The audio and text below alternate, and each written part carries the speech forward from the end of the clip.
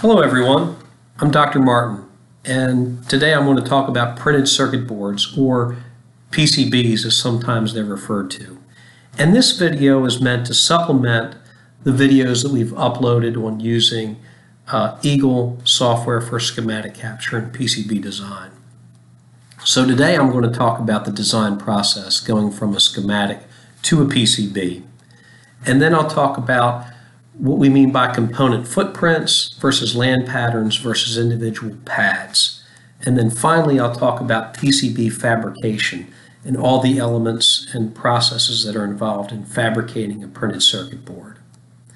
Now, if you remember, we, we, we, have, we always start with a system and a system block diagram, and we break that system down into constituent elements, and we have block diagrams for subsystems, and eventually block diagrams for individual circuit cards.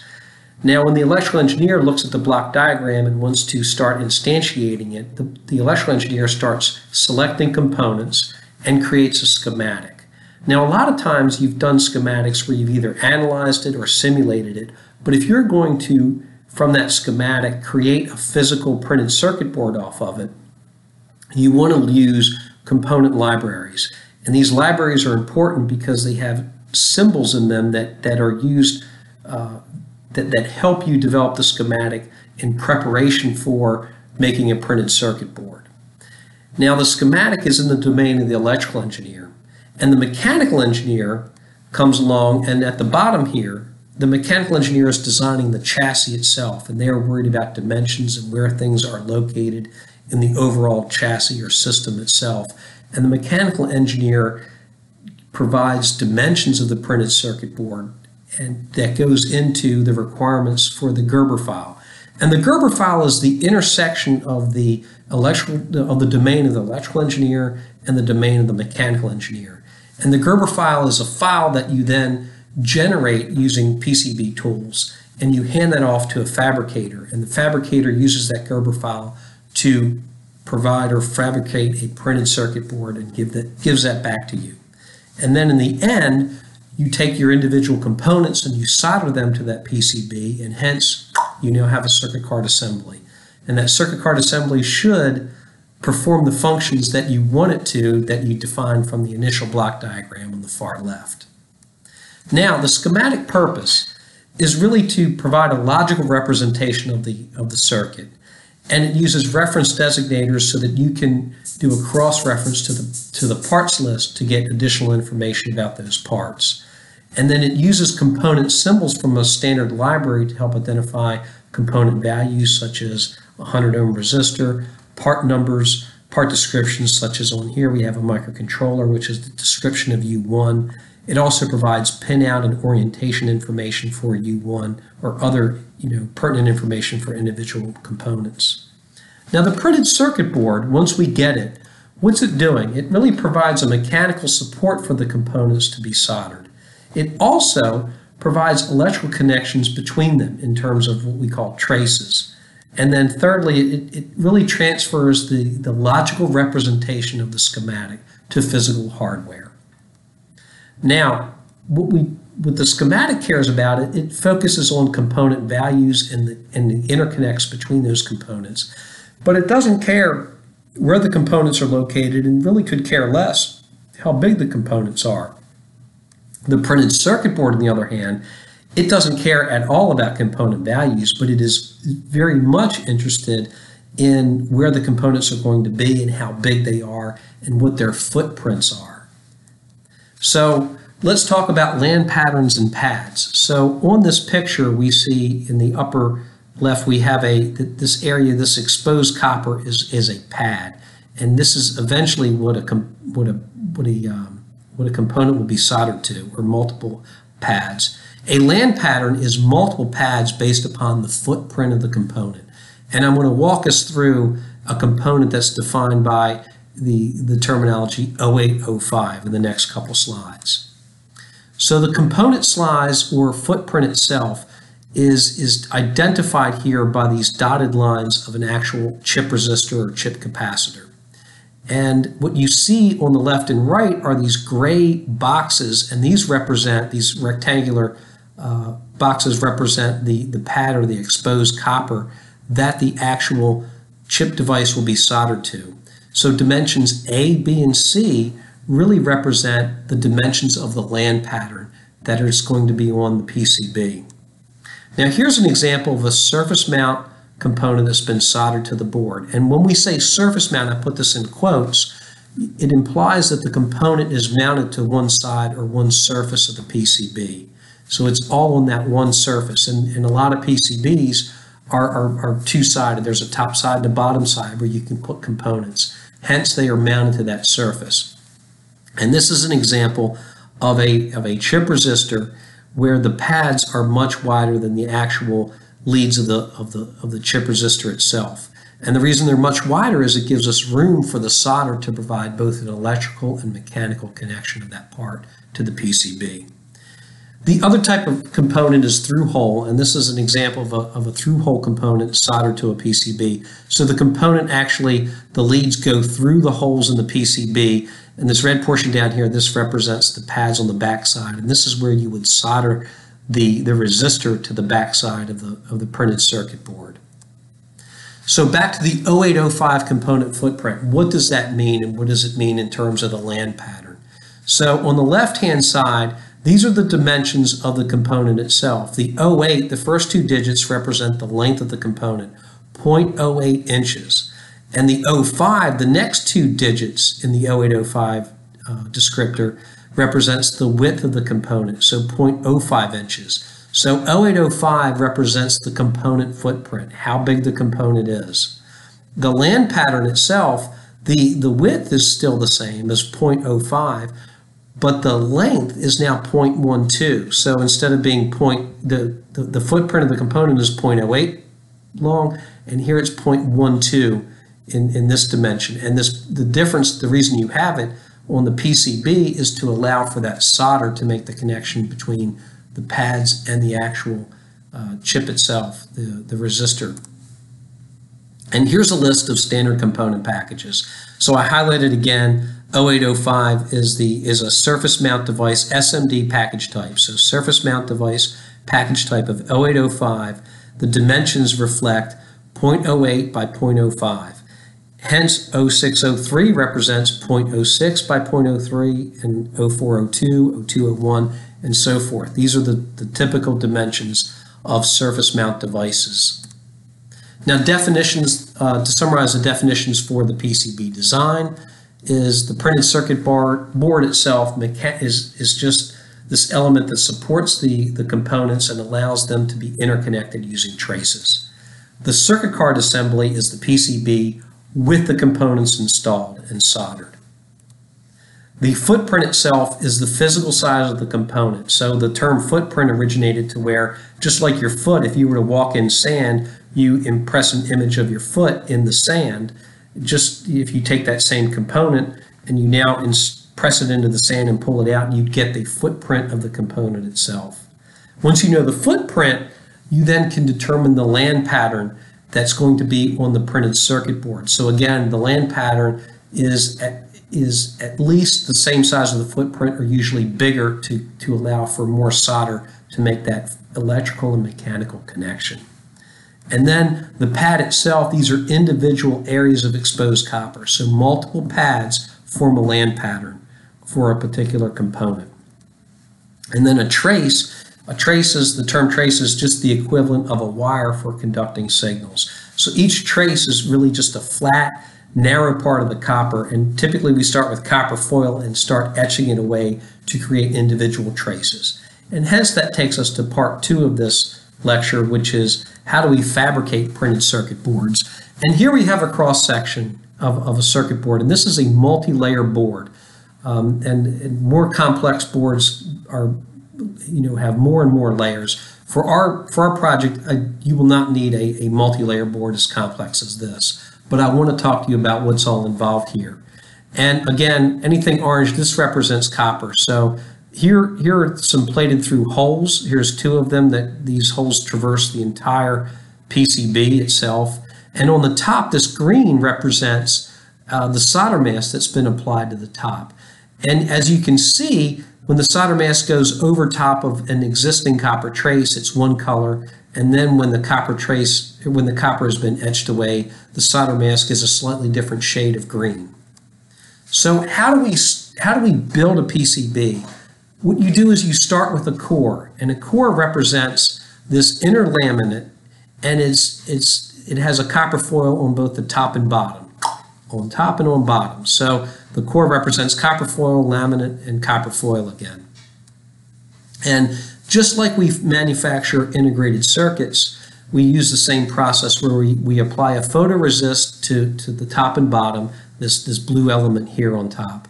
And then we use a mask and expose uh, this, this system to ultraviolet light, and, and it'll etch away uh, the photoresist, and we are left with the copper trace on the core. Uh, these are two traces, one on the top of the laminate and the other on the bottom. So this was our original core, and now we just created two traces, one on top and one on bottom.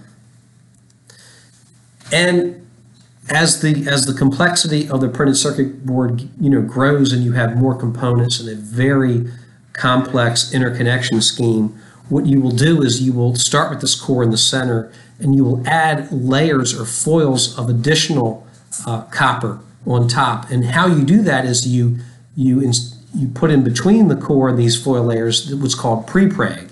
And prepreg is the term, it's, it stands for pre-impregnated composite fibers.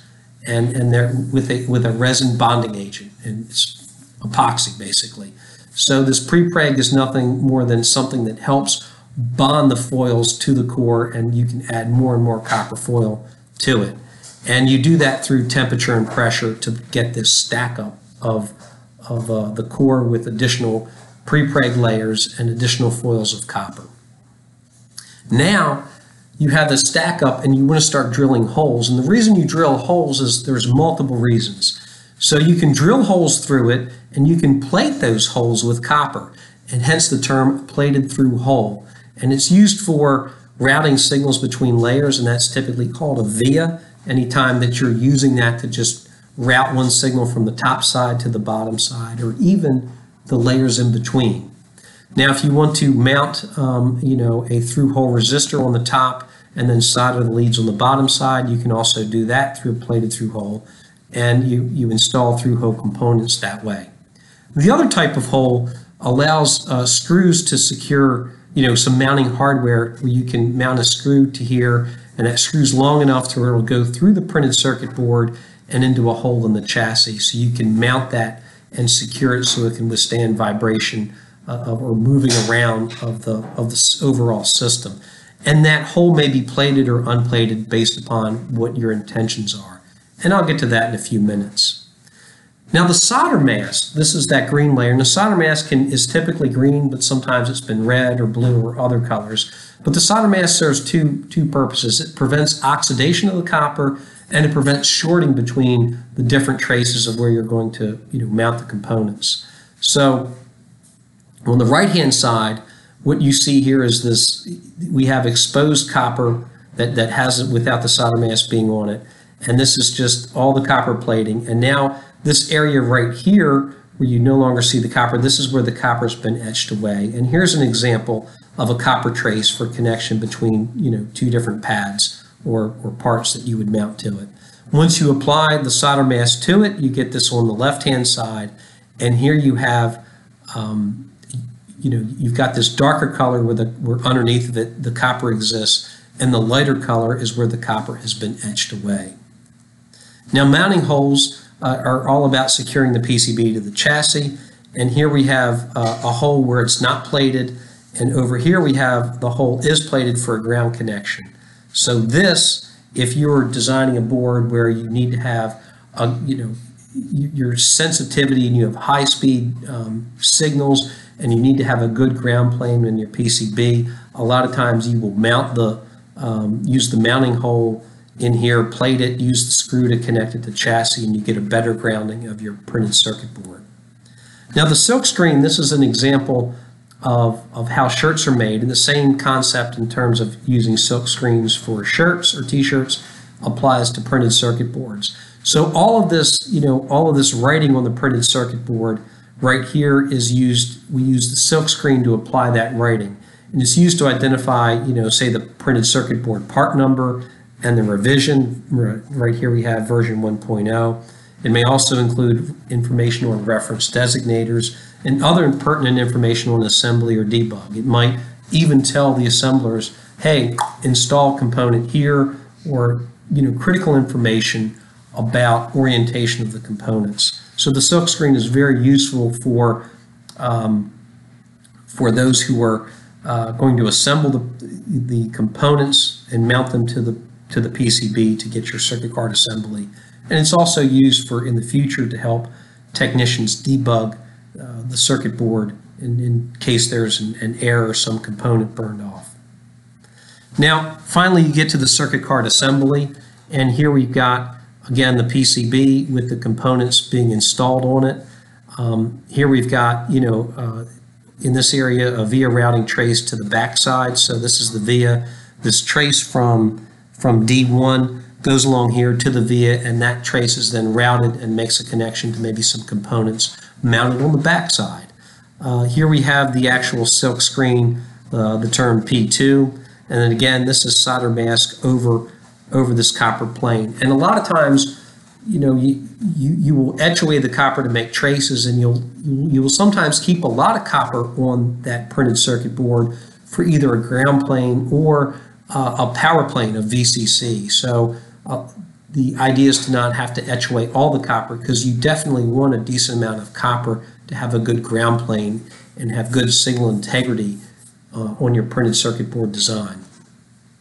So in summary, the definitions for PCB fabrication include uh, the prepreg, which is the you know you know the pre-impregnated composite fibers with a resin resin bonding agent, or also basically epoxy, which is how you um, how you laminate the, the copper foils to the core.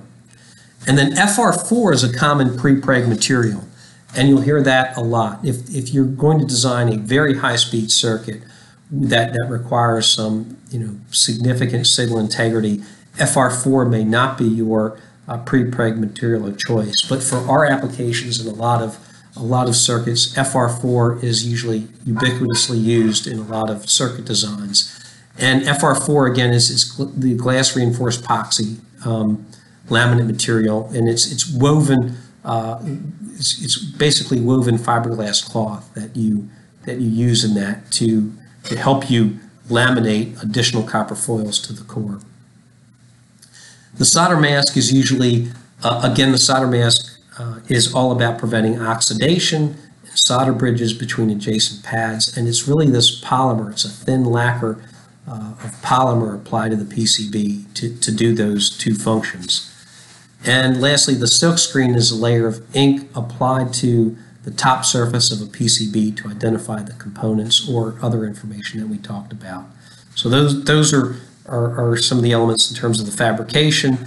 Now, we talk about vias, and the via, again, is it provides an electrical connection between different layers of the PCB by an electroplated through uh, electroplated hole through the board. So it's a it's a via, um, just like you know the term via is used uh, to get from one side to the next of anything. Now, uh, again, you know it's interesting. At least in the United States, they still use the English system a lot as opposed to the metric. So a mil uh, is really one thousandth of an inch. So 20, if you hear the term 28 mils, that really means 0.028 inches. And you're going to hear the term typically copper weight. And what that means is the copper weight is how much that copper will weigh if I if I apply a certain thickness of copper over a one square foot area.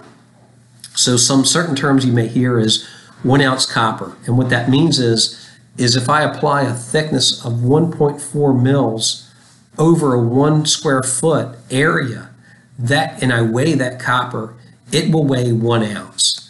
And hence, two ounce copper will be a layer of 2.8 mils thick applied over that, over one square foot. So 2.8 mils thick of copper over a square foot will weigh two ounces.